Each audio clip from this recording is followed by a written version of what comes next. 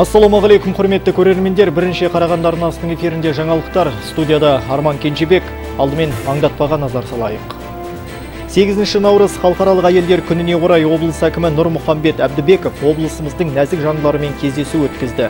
Батыр аналарға алтын және күміс алқаларын табыс етті.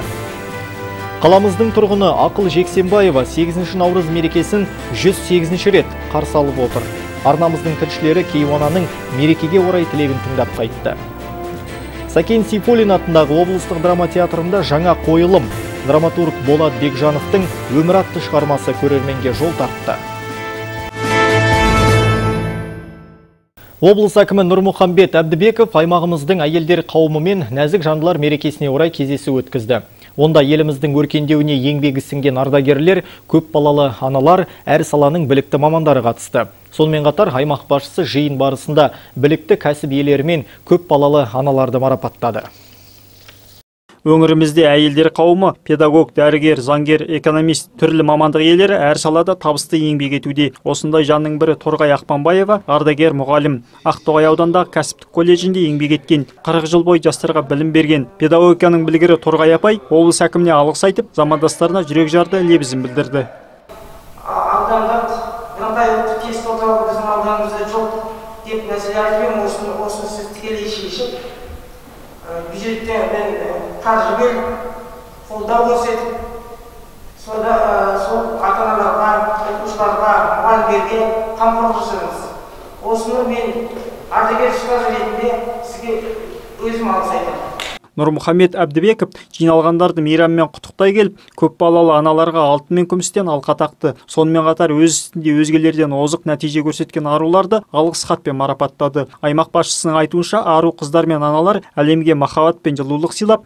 тіршіліктің көркін кіргізуде. Отбасында аяулы жар болса еңбекте кәсіби маман болып тер төгеді. Сондықтан да халықаралық әйелдер мерекесі еліміздің ең басты мейрамының бірі болып саналады. Біздің халқымызда ананы некеге үш рет арқалап апарсаң да қарызын өтей алмайсың деген жақсы сөздер бар ардақты аналарымызға қандай жақсылық жасасақ та көп болмайды деп ойлаймын сондықтан да құрметтесек ананы құрметтейік аяласақ ананы аялайық деп аяқтағым келеді осы біздің бүгінгі кездесуіміз ана бір қолмен бесік тербетсе бір қолмен әлем тербетеді. Біздің бар тыныс тіршілігіміз әйел адамдарға ару қыздарға байланысты. Мерекелік жиында облыс әкімі сөзінің соңын болашақ ұлт тағдыры да сіздердің қолдарыңызда деп аяқтады. Жаңабек наров исламбек оспан бақтияр оспанов бірінші қарағанды телеарнасы. Халықаралық әйелдер күніне орай облыстың әлеуметтік экономикалық дамуына елеулі үлес қосып жүрген нәзік жандыларға құрмет көрсетілді. Қаламыздағы кеншілер мәдениет сарайында мерекеге орай салтанатты кеш ұйымдастырылды. Аймақ басшысы Нұрмұхамбет Әбдібеков аналарды мерекелерімен құттықтады. Мереке күні мерейі үстем болғандардың бірі Аман бала Қосылбекова. Жетпістен асқан қарт ананың жүзінде тек бақыт пен қуаныштың нышаны бар. Зейнет жасында болсам да денсаулығыма еш өкпем жоқ дейді. Біраз жыл партия қызметінде еңбек етіп зейнетке шыққанға дейін әскери бөлімде қызмет атқарған. осы мынау келген 8 март халықаралық әйелдер күнімен бүкіл қазақстанның әйелдерін шын жүректен құттықтаймын. Еңбекте табысты болсын денсаулықтары мықты болсын бала шағаларының қызығына әр уақытта қуанып бақытты өмір сүрсін. Облыс әкімі ерлермен иық тіресе отырып соғыстың қиын кезеңіне төзе білген. Еліміздің азаттығы жолында жандарын аямаған. Соғыстан кейінгі жылдары еңбекке белсене араласып, мемлекеттің әлеуетін арттыруға үлес қосып, үлгілі немере тәрбиелеп отырған ардагер әжелерімізге ерекше алғыс айтты. қымбатты аяулы жандар баршаңызды көктемнің ерекше мерекесі халықаралық әйелдер күнімен тағы да құттықтай отырып дендеріңізге саулық бақыт ұзақ өмір отбасыларыңызға амандық тілеймін аспанымыз ашық отанымыз тыныш еліміз аман болсын Қуаныш пен шаттыққа толған салтанат соңы концертке ұласты. Құшақ-құшақ гүлді арқалаған ер азаматтар өздеріне жақын нәзік жандарын құттықтап жатты. Салтанатты шарада әуелеген әннен шашу шашылып, барлық ән де би де тек нәзік жандарға арналды.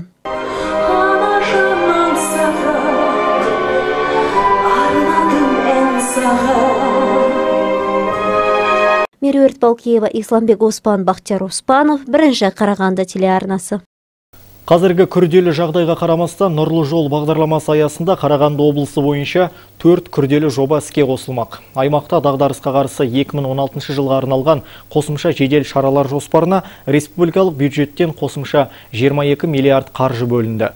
Тақырыпты тілші жалғастырсын. Облыстық әкімшілікте өткен жиын дағдарысқа қарсы кешендік іс-шаралар жоспарын талқылауға арналды. Аймақ басшысының бірінші орынбасары Асылбек Дүйсебаев басқарма жетекшілерінің есебін тыңдады. Селекторлық жиында қала және аудан әкімдері де қатысты. Как вы знаете, Өздеріңізде білесіздер, өткен аптада республикалық бюджет бекітілді. Аталмыш бюджет аясында Қарағанды облысына қосымша қаржы бөлінді. Бұл жұмыспен қамту, шағын және орта бизнесті қолдау және басқа да салалар бойынша. Ағымдағы жылдың ақпан айында мемлекет басшысы дағдарысқа қарсы қосымша қаражат бөлу туралы шешім қабылдаған болатын. Жедел шаралар төрт бағыт бойынша қалыптастырылды. Аталған бағыттардың біріншісі ақша несие саясатының тиімділігін арттыру және қаржылық тұрақтылықты қолдауға негізделген. Екіншісі нұрлы жол мемлекеттік бағдарламасы шеңберінде экономиканы қолдау жөніндегі шараларды кеңейтуді көздейді. Үшінші бағыт шағын және орта бизнесті және экономиканың негізгі салаларын қолдауға арналса, ал төртіншісі іскерлік белсенділік пен халықты жұмыспен қамтуды қолдауды қарастырады. Соңғы бағыт бойынша үкіметтің арнайы резервінен 98,9 миллиард теңге бөлінді. Ол қаржыға өзектендірілген жұмыспен қамтудың жол картасы 2020 бағдарламасы іске асырылады. Жер-жерде әлеуметтік инфрақұрылымды және тұрғын үй коммуналдық шаруашылықты жөндеу бойынша жобалар қолға алынады. Өз бизнесін ашам дегендерге шағын несие беріледі және басқа да шаралар қабылданатын болады. Дағдарысқа қарсы жоспарланған бағдарлама бойынша атқарылып жатқан барлық іс-шаралар тұрақты жұмыспен қамтамасыз етеді. Бұл құрылыс саласы ірі жобаларды іске асыру, бизнестің жол картасы 2020 секілді ірі бағдарламаларды, агроөнеркәсіп және тағы басқа да көптеген салаларды қамтиды. Мемлекеттік және үкіметтік бағдарламаларды іске асыру барысында халықтың тұрақты жұмыспен қамтылуы және іскерлік белсенділікті қолдау қарастырылған. Ағымдағы жылы кешендік жоспарды іске асыру барысында 40 мыңға жуық тұрғынды жұмыспен қамту көзделіп отыр. Қарағанды облысының даму бағдарламасын іске асыру барысында шара шеңберінде қала және аудандық бюджеттерден 489,5 миллион теңге бөлінді. Аталмыш бағдарлама аясында үкімет жұмыспен қамту жол картасы 2020 бағдарламасының өзектілігін арттырады. Так всего на 2016 год. Айта кету керек, 2016 жылы жұмыспен қамту бағдарламасы бойынша 6 миллиардтан астам қаржы бөлінді. Оның ішінде бағдарламаның өзектілігін арттыруға екінші транспен 3 миллиардтан астам қосымша қаржы бөлінген. Жиын соңында сапалы құрылыс жөнде жұмыстарын қамтамасыз ету және мемлекеттік сатып алулар конкурсын уақытында өткізуге тапсырмалар берілді. Меруерт Балкеева, Бақтияр Оспанов, бірінші Қарағанды телеарнасы. Аздаған жарнамалық үзіліске кезек берейік, арнамыздан алыстамаңыздар. Көрсетілім демеушісі Galaxy Group компаниясы. Алюгал, Галвин, Херкюль сауда белгілерімен. Галвин А классындағы телеселік жүйесі ұзақ мерзімділігі 60 жыл Галвин профилі аязға төзімді сенімді берік сапаны бағалайтындар үшін Хабарымызды жалғастырамыз. Қарағанды облыстық ішкі істер департаменті де халықаралық әйелдер мерекесінде полиция қызметіндегі еңбегі сіңген аруларды құттықтады. Облыста ішкі істер саласында мыңнан аса әйел адам еңбек етеді. Оның 400-дейі ақшалай сыйлықпен марапатталды. Мереке аясында ерлер арасында байқау ұйымдастырылып, өнерлі азаматтар өз шеберліктерін көрсетті. Арулар мейрамына орай өткен 8 қырлы бір сырлы байқауына 6 полиция қатысты. Сайыстың шарты өзін таныстыру, белгілі тұлғаның рөлін сомдау, тағам дайындау, билеу сияқты төрт кезеңнен тұрады. Байқаудан қатысушысы ақын Қуаныш Медеубаев, департаменттің баспасөз қызметкері, полиция қызметінде жүріп те қаруы мен қаламын қатар алып жүрген өнерпаз бұл сайыста да өзін әр қырынан көрсете білді. елге сын болған заманда қазақтың іргесін жаудан қасіреттен батырлар қорғады сол батырлардың жалғасы бүгінгі қазақстан полициясы. Бұл енді қарағанды облысында жалпы республикада ішкі істер органдарының саласында бірінші рет орын алып отыр. Сегіз қырлы бір сырлы деп аталады. Себебі жаңағы полицияда жүрсе де ер азаматтардың да ішінде жаңағы өнер азаматтар бар екендігін көрсету және осы полицияның ішіндегі әйел қауымдарға сол жаңағы тамаша көңіл күй сыйлау үшін жасалып отырған байқау. Ішкі істер саласында өңірімізде ерлермен бірге әйел адамдар да еңбек етеді. Олар істі тергеу қылмыстың алдын алу қоғамның қауіпсіздігін қамтамасыз ету сияқты түрлі қызметтер атқарады. Мереке барысында ішкі істер органдарының үздігі екінші деңгейлі төсбелгісімен бесеу мақтау қағазымен екі алғыс хатпен сегіз нәзік жанды департамент басшысы өзі марапаттады. Құрметті ханымдар осынау көктемнің шуақты күні сіздерге шын жүректен денсаулық махаббат пен мейірім ана бақыты мен отбасылық қызық қуаныш. Жүздеріңізден мәңгілік жастық пен әсем сұлулық нышаны кетпесін деп тілеймін. Салтанатты жиын соңында кадет корпусының оқушылары мен тәртіп сақшылары да көпшіліктің көңілін көтерді. Сонымен қатар департамент арулар мейрамында волейболдан жарыс ұйымдастырды. Бұл шараға тек нәзік жандардан құралған 12 команда қатысты. Жаңабек наров исламбек оспан бақтияр оспанов бірінші қарағанды телеарнасы. Қаламыздың тұрғыны Ақыл Жексенбаева 108 жаста. Жасынан еңбекпен көз ашқан әжей бүгінде бейнетінің зейнетін көріп отыр. Кейуананың төрт баласы, 20 немересі, 50-ден астам шөбере шөпшегі бар. Немересінің қолында отырған Кейуананың зердесі де жақсы. Өмірдің талай өткелінен өткен қария кезінде түрлі өнерді де меңгерген екен. Ақыл әжей алғашқы еңбек жолын жаңарқа ауданы жеңіс колхозында бастаған. Алғашында қандай жұмыс болса да қолдан келгеннің бәрін атқардық. 1932 жылдан бастап еңбек еттік. Сауыншы болып жұмыс істедім дейді қария. Еңбекқор жанның еңбегі еленіп 1956 жылы мәскеудегі халық шаруашылығы жетістігінің көрмесіне қатысады. Аудандық кеңестің 19 жыл депутаты да болды. Сиыр саудық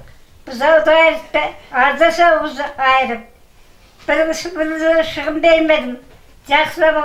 Ударник болып жақсы болып істедім сөйтіп жүргенде мені мәскеуге жіберді жақсы стахановшы деп ақыл жексенбаева құдайберген ата екеуі талай қиын қыстау күндерді басынан кешіп балаларын жеткізеді. Жеңіс кеңшарында зейнетке шықса да бойынан қуат кеткенше еңбек етеді. Құдайберген ата мен жалғыз ұлы әбеу қайтыс болған соң әжей де немересі қайрат пен келіні гүлшат қолына алған. Қария шебер ісмер де болыпты. Өлеңді де нақышына келтіріп орындаған. Сырлы аяқтың сыр кетсе де сыны кетпейтіндігін дәлелдеп ақыл апа түсірілім барысында ән де айтты. Барстанда базар кеткен күн бастан ажар кеткен күн.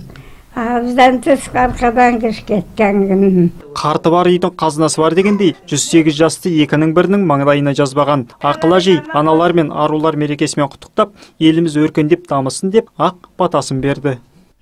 Өмірдің жақсылығына әр уақытта қызықпенен ойын күлкіменен қарсы аласыңға алла бейжәлеріңе алла сауапқа жазып қойсын алла. Жаңабек наров жақсылық нұртай бақтияр оспанов бірінші қарағанды телеарнасы. Белсенді әйелдерге құрмет көрсетілді. Нәзік жандылардың мерекесіне орай түрлі салада көш бастап жүрген әйелдер жастарға өздерінің сан қилы еңбек жолын таныстырды. Игі шара кеншілер мәдениет сарайының басшылығының ұйымдастыруымен өтті. Кездесу сұхбат жүргізу ретінде өтті. Шараға шақырылған қонақтардың арасында түрлі салада жетістіктерге жетіп көзге түсіп жүрген дәрігер театр әртісі кәсіпкерлік сынды мамандықтарды игерген әйелдер бар. Ғалия әбілдина құқық қорғау саласында 20 жылдан аса қызмет етіп келеді. Тәртіп сақшысы ретінде жемісті жұмыс жасаған ғалия қалиақбарқызы бүгінде екі баланың аяулы анасы. Өзіңе ұнайтын мамандық бойынша қызмет етуде ешқандай қиыншылық кедергі болмайды дейді полиция майоры. Әйел өзі өмірге жаратылғанда ол біреуге тәрбие беру үшін бала асырау үшін жаратылған ғой. Сондықтан әйел полиция әйел әйел тәртіпке шақыруға тәрбие беруге. Сондықтан да әйел бәрі жерде әйел болып қалады деп өзім ойлаймын. Игі шараны ұйымдастыруды кеншілер мәдениет сарайының ұжымы қолға алыпты. Аталған мәдени ошақтың басшылығы кездесуді облысқа және республикаға танымал көшбасшы әйелдердің басын қосып жастарға тәрбие беру мақсатында өткізіп отыр. Біз болашақ қыздарымызды болашақ жастарымызды осы кісілерге ұқсас екен дейміз. Абай айтқандай болмасам да ұқсап бақ дейді. Осы кісілерді насихаттау осы кісілер арқылы біз келешек жастарымызды осындай отансүйгіштікке іскер көшбасшы болуға тәрбиелеу осы мақсатта осындай біз шаралар өткізіп жатырмыз. Нәзік жандылардың құрметіне өткізілген кездесуге жас өрендер де келіпті. Олар өз тарапынан аяулы аналарға жыр арнап мерекелерімен құттықтады. Нұрлат қонысбай жақсылық нұртай бақтияр оспанов бірінші қарағанды телеарнасы. Өзге де жаңалықтар жөнінде тегін кеңес беретін телефон желісі өз жұмысын жалғастыруда. Естеріңізге сала кетейік өткен жылдың қараша айынан бастап іске қосылған тікелей желі арқылы әйелдер өздерін алаңдатып жүрген сауалдардың жауаптарын ала алады. Мамандардың айтуы бойынша облыстық денсаулық сақтау басқармасының бұйрығымен іске қосылған желі көмегіне 600-ден астам нәзік жандылар жүгініп үлгерген. Олардың басым бөлігін көп мазалайтын мәселе жүктілік мерзімі мен босанғаннан кейінгі күтіну жайы. Тікелей желі арқылы қажетті ақпараттар алғандардың арасында жоспарланбаған жүктіліктен кейін түсік тастау мәселесі де қозғалатын көрінеді. Бұл туралы жасөспірімдер де жиі телефон шалады екен кейде жасөспірім звон э, телефон соғып тұрады. Мен осы жастамын. Ә, атын айтпайды ғой. Если э, егер түсіріп түсіретін болсам менде әрі қарай қандай жағдай болады деп. Соның біз бәрін түсіндіреміз. Ол өте қиын жағдай. Ертең балалы болмауы мүмкін. Бірінші баланы түсіргеннен кейін жасыңа байланысты жасың әлі жас деп соның бәрін түсіндіріп айтамыз. Сакен Сейфуллин атындағы драма театрда белгілі ақын драматург Болат Бекжановтың өмір атты шығармасы көрермен назарына сұнылды. Қоғамда өмірде орын алып жатқан мәселені режиссер осы қойылым арқылы жеткізе білген. Жаңа спектакльдің тұсаукесеріне арнамыздың тілшілері де қатысып қайтты.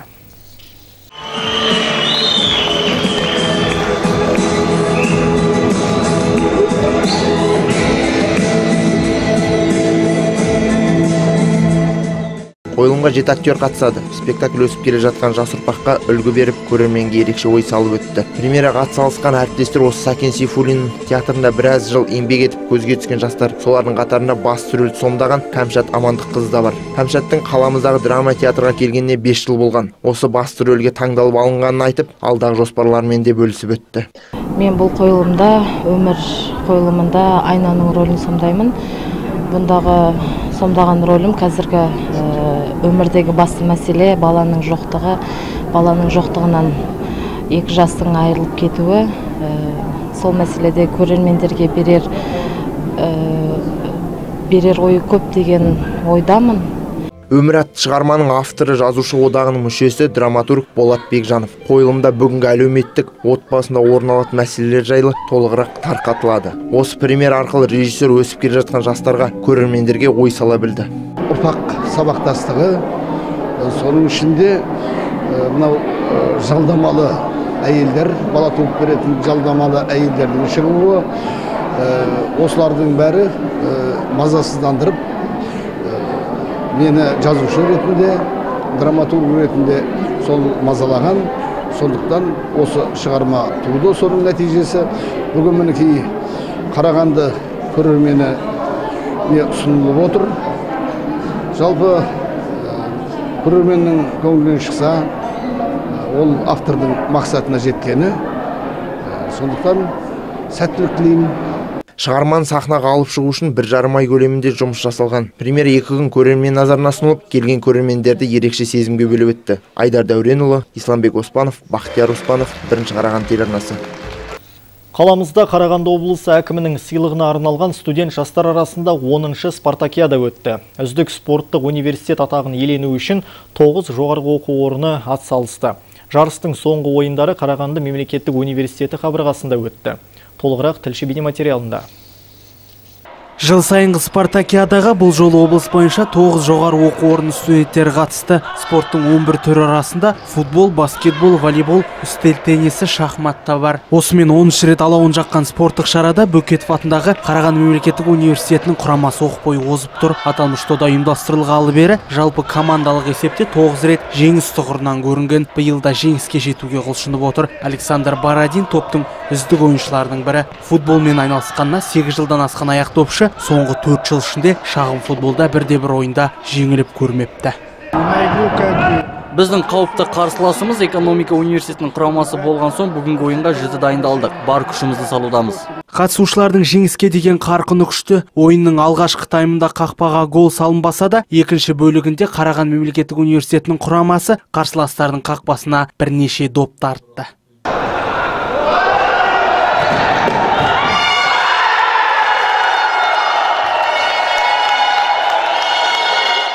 Ойындардың әділ өтуіне қазылық жасаған Балғабай Нұрланов ерекше көзге түскен үш жоғары оқу орнының ойынына көңілі толатындығын жеткізді. Қарағанды мемлекеттік университеті, Қарағанды экономикалық университеті және Болашақ академиясы барлық ойын түрлерінен өнер көрсетіп, финалға жолдаманы жиі алатын құрамалардың тізіміне енген.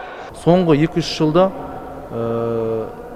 Қарағанды мемлекеттік университеті, экономика университеті, Болашақ университеттері ойындарда ақтық сындарда көрінеді жалпы облыс бойынша біздің спортшыларымыздың барлық басымы осы үш оқу орнында оқиды.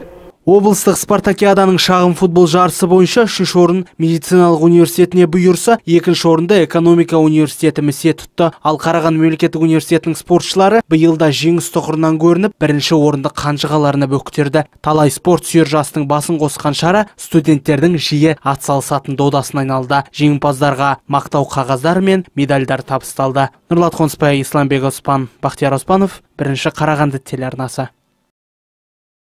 Және хабарымыздың соңында майқұдық тұрғындарының назарына 10 наурыз күні елді мекеннің барлық аудандары мен көшелеріне ауыз су беру уақытша тоқтатылады. Бұл күні Қарағанды су жауапкершілігі шектеулі серіктестігі су құбырларын жөндеу және қайта қалпына келтіру жұмыстарын жүргізетін болады.